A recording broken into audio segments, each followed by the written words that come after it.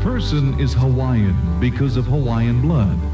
In natural reality, there is no ethnic or racial blood.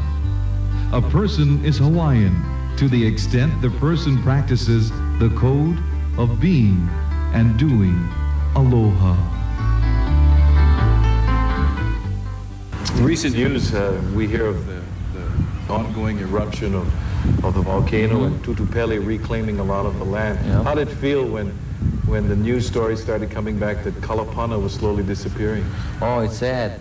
To me, it's, uh, you know, it's like it's a loss. It's, it's, a lot of memories that, I mean, you know, it's a place where we all, um, brothers and sisters all learned and to appreciate, you know, to live the old style. We, we, we live off the land and, you know, we got our food from the ocean and our meat from the mountain and, you know, we, we ate um, taro and ulu and coconut.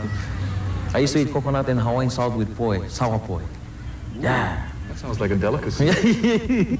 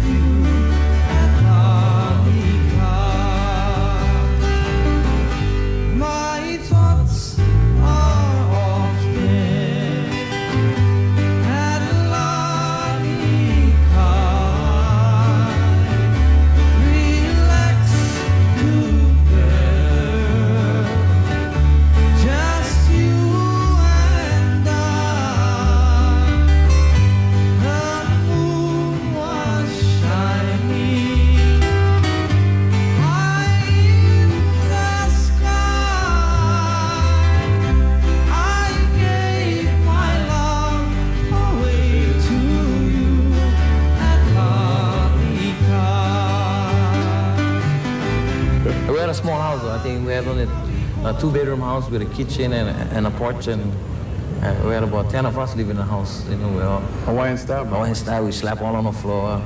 Um, some nights we'd sleep in the yard. You know, when there's a nice, beautiful night, moonlight, and we used to sleep in the yard. And uh, we used to put a big 50-gallon drum in the in the front of us so that when um, our dads and uncles they go out and drink, and when they come home nighttime. Um, you know, they know somebody sleeping in the yard, they wouldn't run us over with the car, so they see these 50 gallon drums that, oh, the kids are sleeping out tonight.